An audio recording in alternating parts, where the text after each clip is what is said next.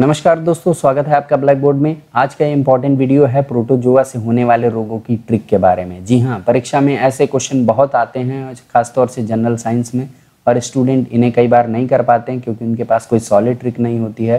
तो आज के इस वीडियो में हम ऐसी ट्रिक लेने आए हैं कि अगर आप ये पूरा वीडियो मन लगा कर देखेंगे तो गारंटी है कि आप परीक्षा में जब भी इससे रिलेटेड क्वेश्चन आएगा तो आप एक सेकेंड से भी कम समय में कर लेंगे। तो बिना किसी देरी के चलिए, देखते हैं वो ट्रिक कौन सी है। जी हाँ ट्रिक आपके सामने है, पापी काम पे सोते हैं। अब ये तो आपको आसान होगी काफ़ी याद करने में कि पापी लोग जो होते हैं, वो काम पे सोते हैं। यानी जब उन्हें कोई काम दिया जाता है तो वो लोग सोते रहते हैं, जागते नहीं। बहुत ही निठल्ले होते हैं, पापी लोग। कौन लोग? पापी लोग। तो पापी काम पे सोते हैं, ये हो गई ट्रिक। ठीक है? दो चार बार रटिएगा और अपने आप याद हो जाएगा। अब इसमें पा का मतलब क्या है? पायरिया। का का मतलब क्या है? कालाजार। माँ का मतलब क्या है? मलेरिया। पे का मतलब क्या है? पेचिस।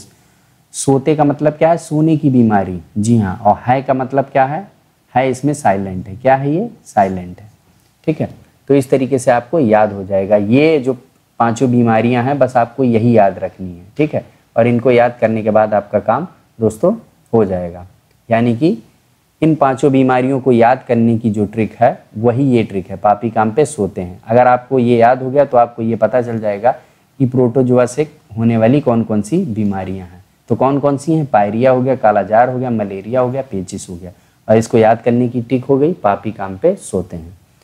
चलिए दोस्तों नेक्स्ट स्लाइड पे ये आप लोगों के लिए एक प्रश्न है, किस ग्रंथि को मास्टर ग्रंथि कहा जाता है? और हम चाहते हैं कि इसका जो आंसर है वो आप हमें कमेंट सेक्शन में लिख बताइए।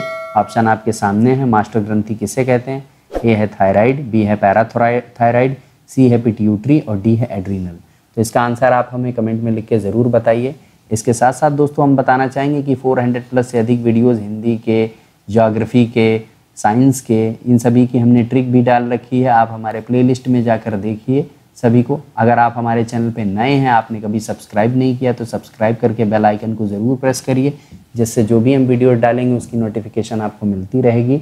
इस वीडियो को लाइक ज़रूर करिए, अगर आपको पसंद आया है। साथ ही साथ शेयर ज़रूर करिए। ताकि और भी लोगों का इससे भला हो सके। आज के दोस्तों, वीडियो में बस इतना ही। मिलते हैं फिर किसी नए वीडियो में। धन्यवाद।